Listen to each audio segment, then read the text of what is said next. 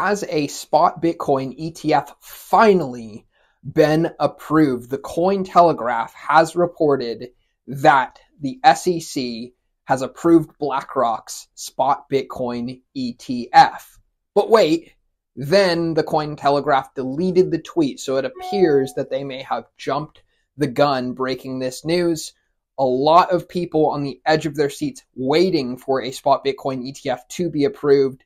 As you can see, the market reaction, Bitcoin popped 8% on this news and came right back down because there was no sources and BlackRock confirmed that the application is still pending. So we will have to wait and see what is the SEC going to do. They chose not to appeal Grayscale's application. There's a lot of irons in the fire, so stay tuned in this very exciting space in Bitcoin. Subscribe to the channel.